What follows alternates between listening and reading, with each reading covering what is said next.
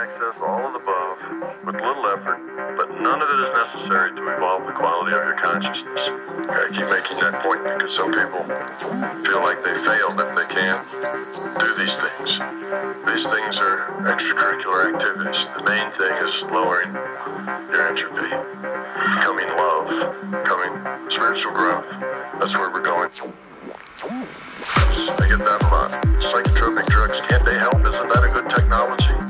Lots of native people uh, use psychotropic drugs. Psychotropic drugs are also training wheels, okay? And they're very dangerous training wheels. Unless you are in a very supportive environment, and unless you really know what you're doing, unless you have some skill and, and lots of information.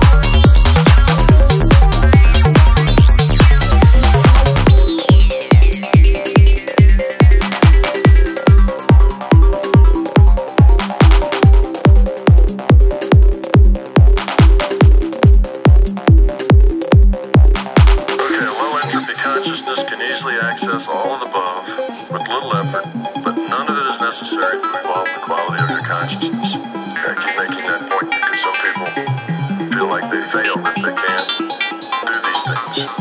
These things are extracurricular activities. The main thing is lowering your entropy, becoming love, becoming spiritual growth. That's where we're going.